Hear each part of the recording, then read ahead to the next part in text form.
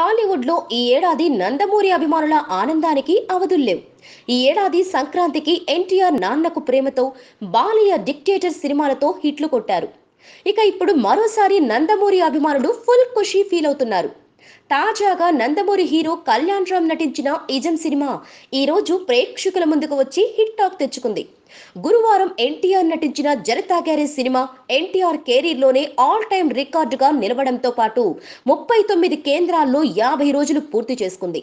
నందమూరి అభిమానులు ఈ జోష్లో ఉండగానే దానిని కంటిన్యూ చేస్తూ ఈ రోజు Kalyan Ram ism hit talk సొంతం చేసుకుంది. శుక్రవారం రిలీజ్ అయిన ఇజం ఫస్ట్ షోకే హిట్ తెచ్చుకుంది. ఇక పటాస్ తర్వాత కళ్యాణ్ కెరీర్లో మంచి హిట్ వచ్చి పడింది. ఇక ఇదే వారంలో దసరాకు రిలీజ్ అయిన బాలయ్య వందో సినిమా గౌతమి పుత్ర శాతకర్ణి సినిమా టీజర్కు సూపర్ రెస్పాన్స్ రావడంతో పాటు యూట్యూబ్లో దూసుకుపోతుంది.